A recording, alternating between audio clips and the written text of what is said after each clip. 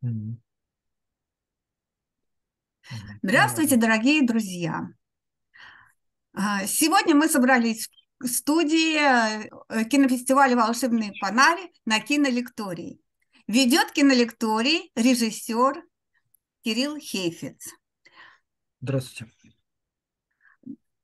А, Для беседы в кинолектории приглашены создатели, фи- создатели фильма «Глаукома» Юлия Чернякова и Константин Пугачев. Здравствуйте, ребята.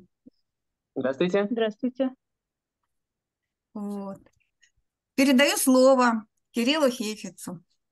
Какие вы хорошие. Слушайте, Я посмотрел с удовольствием мультик, вот только что посмотрел, но я не, сам, не видел. Вот, и получил огромное удовольствие. У меня тысячи вопросов.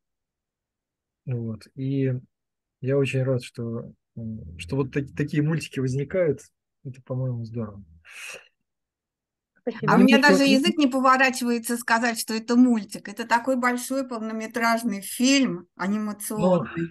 Ну, полнометражный мультик, скажем так. Знаете что, вы можете немножко о себе рассказать? Чуть-чуть. Вот, что, как, как у вас дуэт этот образовался? И просто чтобы зрителям, если, если они есть, то чтобы они тоже немножко включились. Ну и мне интересно тоже, как, откуда растут эти цветы. Да. Это наша первая совместная работа и по совместительству вообще первая анимационная работа, и первая такая попытка в анимацию. Мы учимся в одной группе в ВУЗе на режиссеров. Вот. Мультимедиа. Режиссеров мультимедиа, да, то есть специальность у нас не анимационная. Ты вы в КИТе учитесь? да? Нет, мы учимся в МГППУ в Москве. Вот. МГПУ – это пе- пе- педагогический университет, да? Э, Психолого-педагогический МГППУ. буквы. ППУ, понятно. Мгм. Правда, студии у нас там нет, поэтому приш- приходилось снимать на квартире. Да и оборудования у нас тоже нет, поэтому приходилось использовать э, вместо камеры телефон, вместо какого-то станка просто стол, вместо декорации обычную картонную коробку. Мы ходили по паркам, по лесам, собирали какие-то материалы, деревяшечки, иголочки, травинки. да. И потом кое-как устанавливали этот телефон, который постоянно вылетал из штатива, падал в стол, Да. было много вас, у вас трудностей. даже штатив был, что ли? Его не было, но, Нам его дали знакомые. и- но телефон постоянно вылетал из этого штатива, поэтому все съемки проходили очень тяжело. Ну, Но лампа постоянно соединялась и тухла. Но в целом было тяжело, но хорошо. Да. Ну, то есть ВУЗ нам особо не помогал, помог только тем, что мы встретились. Но это немало. Может быть, это самое, самое существенное вообще для того, чтобы творчеством заниматься в одиночку, ну, скучно. Да. Все-таки, когда есть хотя бы один человек, с которым можно что-то вместе разделить, а потом умножить надо, то, в общем-то, это очень ценно. Ну, в таком случае расскажите, как, э, почему возник этот э, замысел и как, как это? Идея возникла где-то полгода назад, до съемок фильма, у меня. И после того, как мы стали э, общаться спустя какое-то время близко, и я эту идею рассказал, мы ее обдумали, обсудили, Сделали написали сценарий. сценарий. Вот у нас сценарий режиссерский. Мгм. Слушайте, он Вот у вас это- даже так красиво оформлен, да? Да. да. Вот, твор- вот творцы настоящие чувствуются. И потом началась подго- подготовка к съемкам. которая длилась где-то месяц. Да, то есть мы собирали коробку вместе. а, Декорации тоже придумали вместе. Но Да, основное художественное решение. Я отвечал за идейное решение, а Юля в основном за художественное. да. Здорово. Так все-таки, а вот, вот глаукома, это же, в общем, это такой мощнейший образ, и он сразу как-то на какие-то философские вещи тянет. А с другой стороны, это, в общем, болезнь. И вот как, как вы с этим, как у вас это все сложилось да, в голове. Название вообще долго Ну-ка, идейный вдохновитель, расскажите-ка, пожалуйста. Да, расскажи. Хорошо. Да, получается, в названии у нас стоит болезнь, которая представляет свою приобретенную слепоту. Это важно, что она приобретенная, а не врожденная. То есть человек со временем получает ее. И люди, которые немного разбираются в медицине, люди постарше, они, когда видят название этого фильма, сразу думают о том, что он будет про, про медицинскую да. тему. Ну, простые зрители, когда смотрят, э, у нас нет не такое большое количество зрителей было, но те, кто смотрел, люди попроще видят здесь э, какую-то социальную рекламу о телевидении, о зле интернета, может быть, каких-то технологий. Но основная задумка, наверное, и все это правда, но все это выражает основную задумку в том, что человек, взрослея, перестает возможность видеть в жизни прекрасное и начинает видеть мир не непосредственно, то есть человек перестает брать э, из этих маленьких ящичков, доставать какие-то маленькие солнышки, а он начинает видеть мир через посредника. То есть в данном случае вот этот вот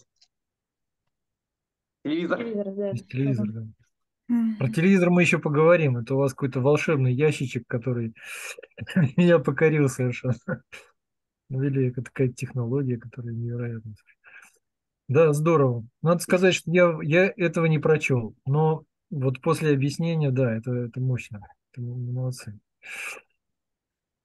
Так, ну, теперь тогда э, скажите, как вы решили? Вот э, все-таки такой, ну, материал пластилин, да, он, он, э, ну, он такой специфический. Почему вы решили из пластилина делать? Ну, из пластилина и картона, да, вот такой. Ну, Давайте, это самое дешевое, на самом деле, что можно было найти, потому что... Ну, то есть у нас был бюджет у фильма, но он маленький, у нас вообще ничего не было.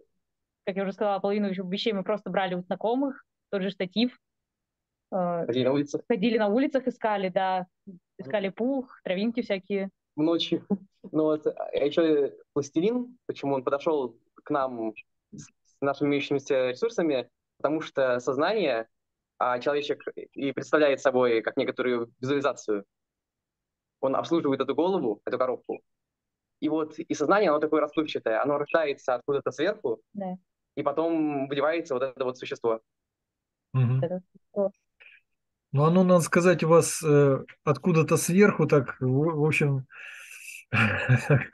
совсем не, э, как, как бы не поэтично оно появляется у вас. Вот расскажите, как, как вы так... Ну, почему так? Сцена, первая сцена, она снималась самой последней даже. И по нашему фильму, по идеологии нашего фильма, появление человека — это что-то такое сверхъестественное, человеку недоступное для понимания, поэтому оно не настолько приятное, не настолько, может быть, э, религиозное, как, э, с одной стороны, как бы представить перед нами этот люк, откуда льется свет, но при этом эта выдающаяся масса — это что-то такое очень непонятное, э, живое, как какая-то плоть. Поэтому некоторые люди, зрители, посмотревшие первую сцену, думали о том, что фильм вообще представляет собой ужастик. Да. Угу. Да. И вот эта первая сцена, она как бы всех шокирует. Но мы примерно на это и рассчитывали. Так все-таки вот эта биомасса, которая валится сверху из окна, откуда свет, и биомасса, это что? Это, это мозг или что это такое? Это сознание. А коробка – это как бы голова человеческая. Ну, там понятно, потому что там такие образы подпадают. Угу. Вот. У нас ну, все да, стены да. вытаскивались из коробки, вот эта стена как раз. Ну, понятно, что это голова. И внутри да, головы вот оно, понятно. наше сознание. Ясно. Но это, это голова на, на выворот, да? То есть, по идее, язык должен был туда вы, вываливаться, да? Да. Вы его обозначили сюда, э, как бы в нашу сторону, чтобы было понятно, что это язык. Это да? было понятно, да. Угу. Соединение органов чувств и вот эти вот ящички. Угу.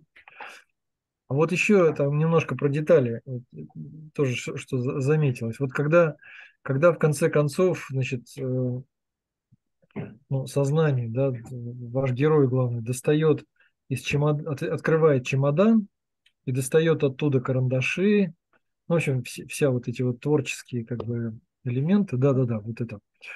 Вот. А внутри там какие-то гвозди. Ну, это вот почему там гвозди у вас появились? А? Ну, не гвозди, но какие-то шипы там. Вот, вот, это, что они означают? Ну, вообще это просто следы, на самом деле, от крепления. Это скорее случайность. Вот, и Технология. Понятно. Ну, то есть это же все делалось вручную, это просто картон, потом мы покупали специальные такие вот петли маленькие. Петли, да, петли замечательные. Не только покупали. И не только покупали, да. И вот этот процесс весь, он должен быть... э, Мы добивались того, чтобы эта сцена с телевизором, она была, она казалась максимально тяжелой и затянутой. Поэтому, когда мы посмотрели ее в первый раз, мы ее растягивали, растягивали, делали все больше и больше. И когда мы посмотрели первый раз и поняли, когда она давит максимально сильно, после этого можно да, э, поднять э, ее очень высоко, вывернуть все как бы наизнанку. И поэтому через это через мучение вывести э, такой спокойный выдох Мгм. и потом вытаскивает из из всех этих коробок, садится на пол, кар- карандаши, что-то светлое из чего-то темного. Ну да, да.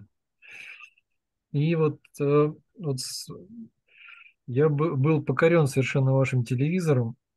Как вы умудрились его так оживить? Это что, это вы какие-то мозаики туда вставляли? Или как, как это? Или вы... Технологию мы придумали, Да. да. То есть вот у нас телевизор, мы купили маленькую такую лампочку, которая работает от батареек. И Две лампочки. две лампочки, да. Искали. Искали много очень, искали очень маленькие лампочки именно просто от батареек. Поставили сюда две лампочки, и у нас были разноцветные стекла. Но вот здесь только белые, а у нас они вы- были красные, зеленые, синие. на свалке раму от картины, и Да. вот пластиковую, пластик разрезанный на несколько частей, Да, вот. Юля вкрасила в разные цвета и использовали как лидеры. И мы вот так вот меняли просто каждый раз, и ну, с каждым кадром меняли, и получился вот такой вот эффект. Ну, то есть там очень много фотографий, Да, телевизор жил. А помехи это просто водили маркером, Да, определенные участки стирали, потом при монтаже это немного изменяли, и и получается... тоже фотографировали. То есть я, я снимала, да, а Костя водил маркером. Вот, и получились помехи. Очень интересно, что у нас соединяется и покадровая анимация, и видео, потому что в некоторых кадрах Живой, мы да. старались как-то человека, брали человека, прикрепляли ему какие-то палки, которые находили, двигали его так, чтобы не было их видно, Да. потом Да, это- определенно тоже монтировали. Так что тут соединяется Мгм. два вида анимации, но как бы невооруженным взглядом это не всегда видно. И двигать человека, на самом деле, было очень тяжело, особенно в первых сценах, потому что у нас нет никакого опыта. Но к последним Я- сценам мы уже... Я-то так подумал, что вы слепили э, специально руки и ноги отдельно, чтобы именно Да. на крупных кадрах можно Да. было оперировать, не, не прибегая вот к этому э, всему организму. Да. Да, так и было. Но, правда, в конце они все, как я уже сказал, мы снимали первую сцену в последней, и поэтому нам нужно было много пластилина, и мы все эти ноги и руки переработали в эту В массу. эту массу, да. И ну, руки и ноги во время съемок хранились, хранились у нас в холодильнике, в морозилке вместе с банками. Да, пластилин таял очень сильно. Приходилось его замораживать, потом ждать, пока он разморозится, чтобы его двигать. И пить каждый раз по-новому. Да. Да. Ну и вот такая трансформация с лицом происходит, да? Сначала оно круглое, потом... А вот что, что с лицом происходит? Расскажите-ка. Вообще, что с героем происходит? Вот сквозное его а, как бы состояние его на- насквозь в течение всего, всего сюжета. Да, кругленькое личико сейчас, секунду. Герой, получается, Вот, круглое... Такое, ну, круглое Да, маленькое личико. первоначально оно, оно круглое, да. потому что человек взрослеет, и его черты становятся более грубыми. Да. То есть здесь он еще ребенок, А, тут он понятно. уже взрослый, а в конце он Мгм. уже старик. Это же старик. И его лицо Ну, все ну, ну. более становится осунутым, и вытягивается, и грубеет. Да. И становится, если вначале у него красные щечки, к концу у него уже просто белое лицо. И только в последней сцене, когда он уже очищается, У него улыбка появляется, и опять красные щечки возвращаются. То есть он не становится снова ребенком, но он хотя бы немного возвращается. возвращается прошлое. Да. Через воспоминания и творчество возвращается куда-то в прошлые свои недра разума, извлекает туда всю чистоту. Ну, может быть, надо было все-таки посмелее и не, не бояться вот этих вот условностей и вернуть его в детство, потому что все-таки творчество это такой, такой Ну, процесс, который, в общем, он помимо... Не, нет, ну это я просто, просто как, как, как го- говорил... Замысел авторов, Кирилл. О чем Нет, ты нет, это не замысел авторов, это, это реализация, это как бы вот то, что к режиссуре относится. Просто, э, как мастер говорил Игорь Федорович Масленников, кино дело грубое, и вот э, вот эти вещи, их можно, можно смелее эм, ну, градуировать, что ли, да, то есть не, не мелко очень, потому что многие вещи не, незаметны, не, может быть, непонятны. А когда вот такими крупными мазками, ну вот у вас с лицом все отлично. Единственное, что может быть, вот, э, ну это уже мое. Ну да. Но в детство мы возвращаем, как вы говорите, у нас есть сцена, когда вот он начинает вспоминать, и, да, там, и он... там мелькают все да, да, да, его да. на фоне этих воспоминаний. Просто и в конце, почему мы не захотели, мы хотели показать его молодость, возможно, надо показывать его было больше, э, подольше держать этот кадр, но мы хотели показать, что все-таки он остается стариком, и молодым он, ему не стать уже никогда, и поэтому э, как бы он не очищался, он уже все-таки на склоне лет, и поэтому yeah. все-таки ему близка скорее уже смерть, да. чем жизнь. То есть он уже как бы пострадал от телевизора, и назад ему уже сложно вернуться. Mm-hmm. Если... По своей вине. Невозможно, да, по своей вине. Ну вот мне к 60 я чувствую, что, что такой безысходности на свете нет. Вот, это, это мое, мое наблюдение. Вот. Так, ну теперь скажите, вот у вас музыкально интересно решено, тоже звуковая такая партитура, разнообразная совершенно. И... А вообще, э, ну да, давайте вот об этом немножко расскажите. Это наш первый именно такой большой проект, и впервые работали именно с таким э, сложным звуком. У нас там очень объемная на монтажном столе была звуковая дорожка.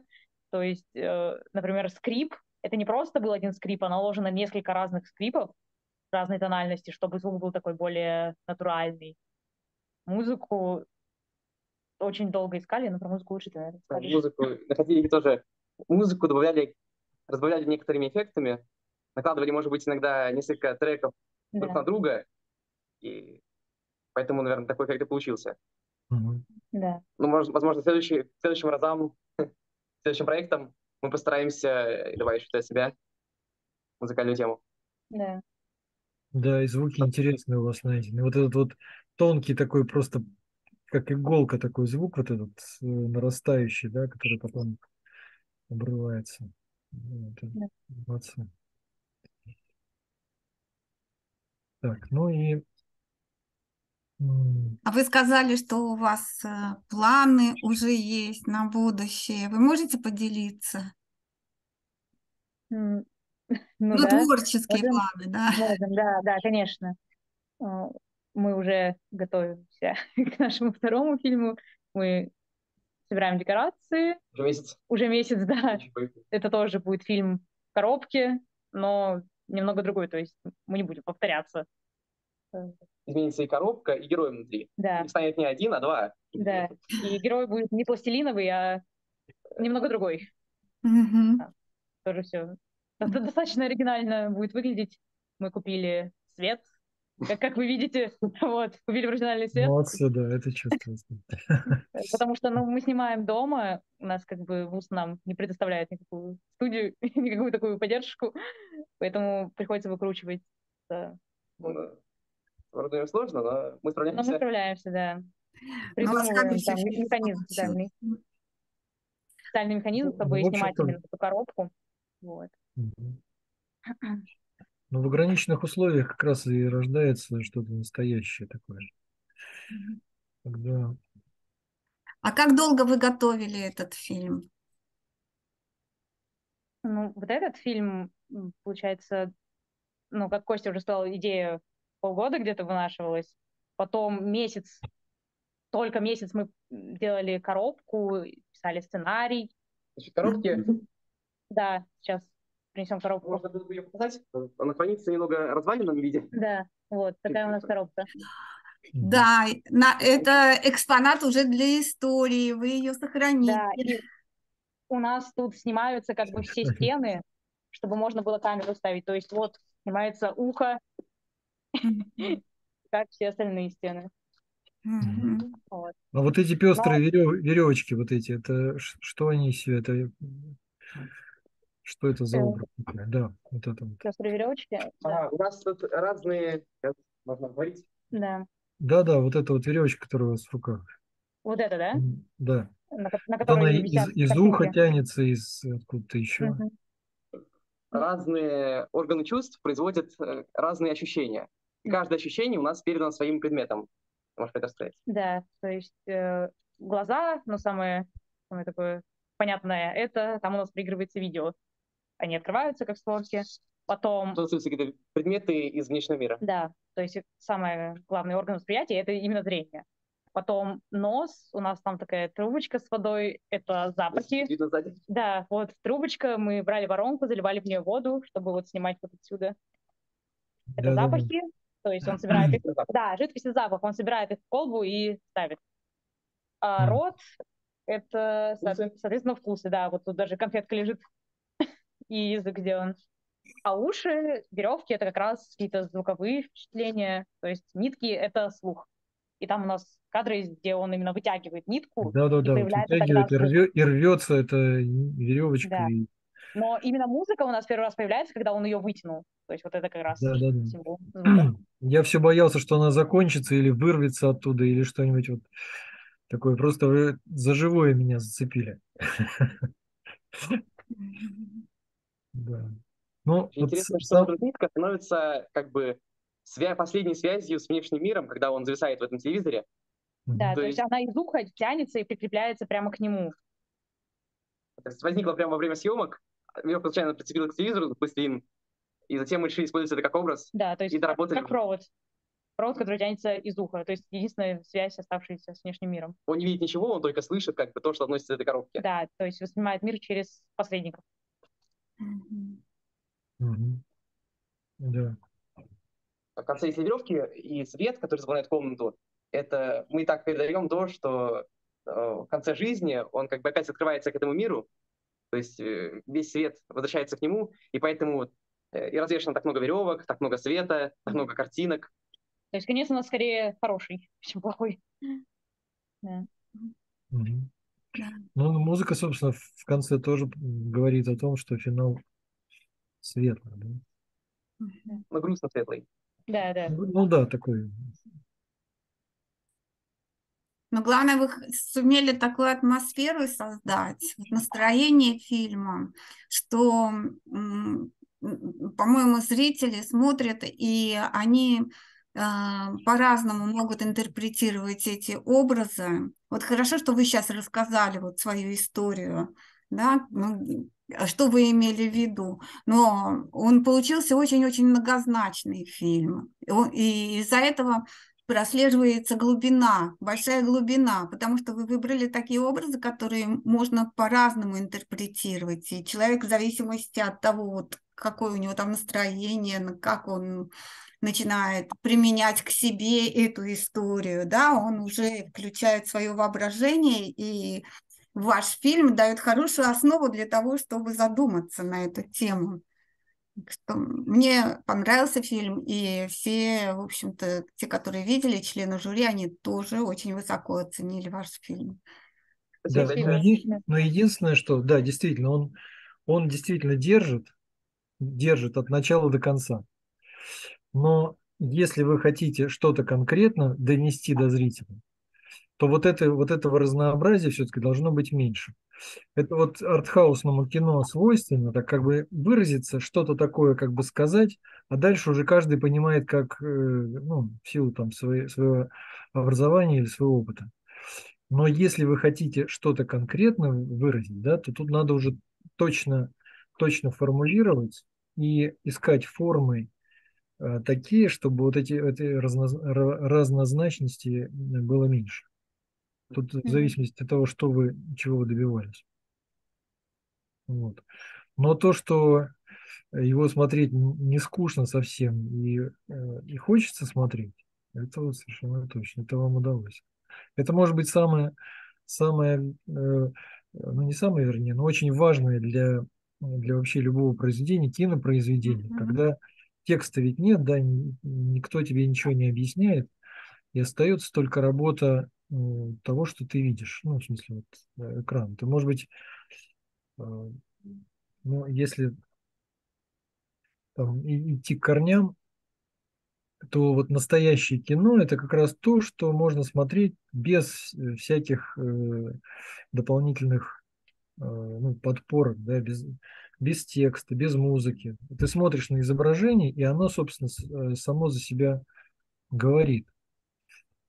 Вот. И это вот настоящий. Что? К этому, этому мы ну, это правильно, это цель хорошая, да. Единственное, что вот надо пытаться тогда э, находить вот, э, все-таки добиваться того, чтобы вот э, решение или то образ работал именно на, на идею, которую, которую вы закладываете. Вот я, к сожалению, не, не прочел вот этого. То есть как бы это очень близко, но вот, вот именно так, как вы сформулировали, да, то, что человек слепнет э, в процессе как бы, жизни, перестает воспринимать это. Вот я не прочел. Ну, может быть, я, может быть, я просто сходу вот только что посмотрел первое впечатление. Но впечатление яркое. Спасибо вам большое за, за, вашу, за вашу работу. Да. Тут я совершенно независим. Оказывается, вот э, все, все жюри было в восторге. Я к ним присоединяюсь. Ну, вот я не знаю, что еще. Ну, пожелаем тогда творческих успехов в дальнейшем, что мы ждем ваши фильмы на кинофестивале. И вообще будем очень рады с вами встретиться еще на церемониях кинофестиваля. Вот. Мне и... очень, очень ценно, что вот вы сидите вот в этом светлом кабинетике розово подсвеченном, да, и в красной такой вот в розово-красной рубашечке, да, и очень так стильно, молодцы. Да, даже вот это, тут, тут вы не подкачали совершенно. Приятно было с вами побеседовать. Спасибо. Ну, не знаю, там вы, у вас же есть какое-то общение, да, вот, и, я не знаю, ну, общение я имею в виду вот с ну, с мультипликаторами там или с художниками? Или вы, ну, вы вообще... Вы, вы сами... Если честно, нет. Просто, да, проблема в том, что у нас вуз именно специализируется на мультимедиа технологии. Только, то есть у нас анимацией никто не занимается. У нас именно в ВУЗе. Но вы, вы же... Да. Вы, вы ведь не, не как бы не, не решеткой загорожены в этом ВУЗе, правильно? Да. Вы живете в самом, можно сказать, мультимедийном городе, и вообще границ нету совершенно. И да, этим... и кроме того, Кирилл, ты не знаешь, но ребята собираются приехать на кинофестиваль, а, на, а, на кине, а, волшебный фонарь, а, и будет возможность встретиться с нашими вот э, корифеями. анимации да. и другими режиссерами. Я надеюсь, да. что это будет хорошее место для встречи. Ну да, ну и в Москве есть отличный мультипликатор старый. Вот со, со стариками, общайтесь со стариками, пока они живы. Они, они вас, мне кажется, с интересом будут с, с вами общаться и возьмут вас как-то в, в какой-то круг своего общения. И ну, в общем, поработайте с ними. Мне кажется, и вам это будет интересно, и им будет радостно, что есть такие молодые силы, которые, в общем, творят, можно сказать, из себя просто. Вот. Молодцы. Спасибо. Это напутственное слово. Спасибо за компанию, да. Спасибо. До встречи скорой. Спасибо. Да. Спасибо. До встречи. Спасибо. Всего доброго, успехов. До свидания. До свидания.